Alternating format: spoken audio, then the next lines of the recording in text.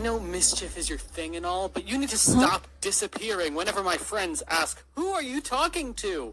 I just did nothing with them.